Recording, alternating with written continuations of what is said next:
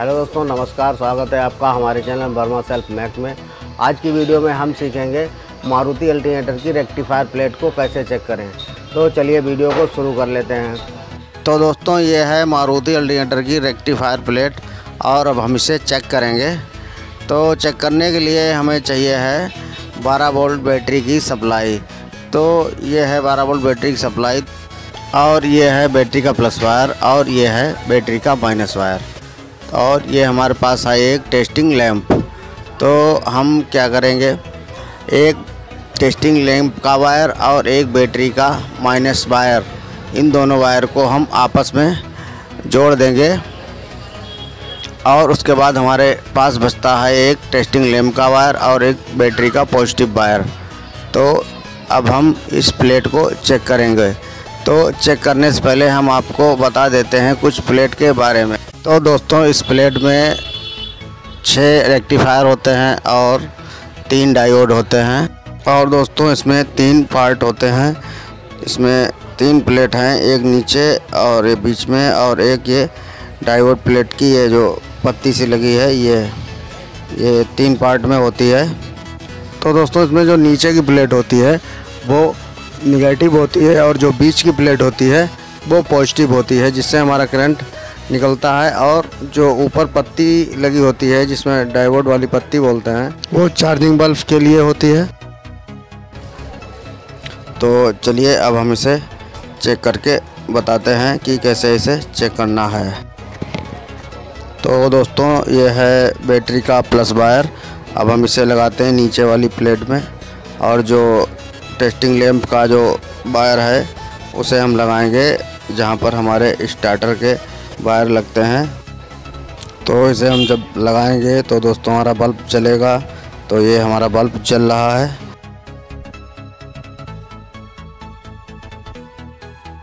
तो दोस्तों अब हम क्या करेंगे? इन दोनों वायर को आपस में पलट लेंगे।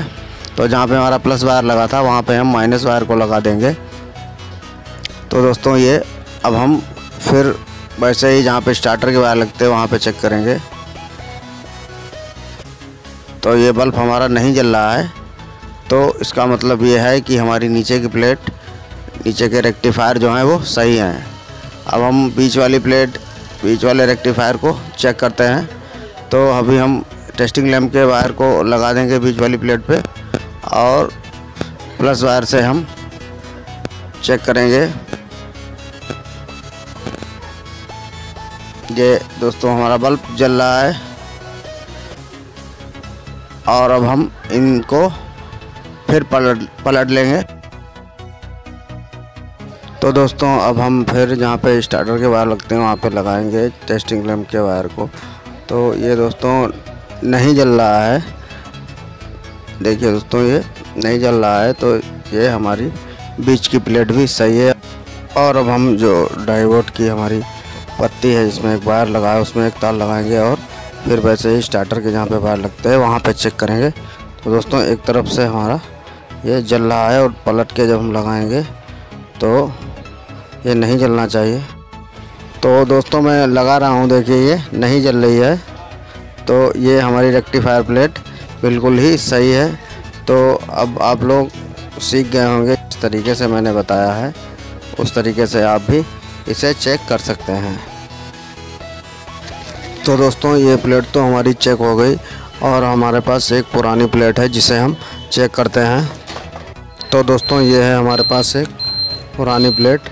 तो देखिए, इसे हम वैसे ही चेक करेंगे और आपको दिखाएँगे कि ये सही है या ख़राब है।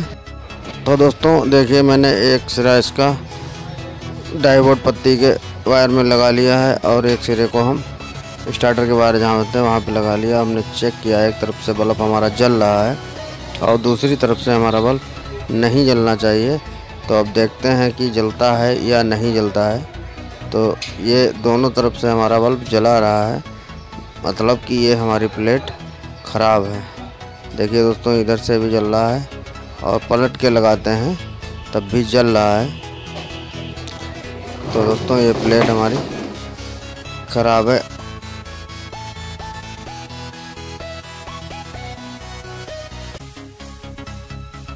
और जब नीचे वाली प्लेट को मैंने चेक किया है तो नहीं जला है और एक तरफ़ से जल रहा है, एक तरफ़ से नहीं जल रहा तो हमारी रेक्टिफायर प्लेट जो है, रेक्टिफायर इसके सही हैं, लेकिन जो डायोड हैं वो सही नहीं है। बीच वाली प्लेट को भी हम चेक कर लेते हैं।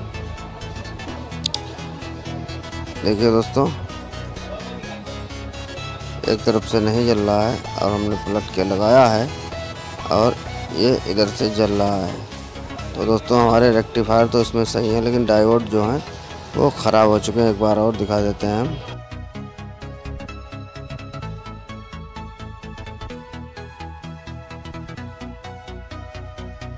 देखिए दोस्तों, ये दोनों तरफ़ से जल रहे हैं तो ये हमारे डायोड ख़राब हैं। तो ये प्लेट हमारी ख़राब है।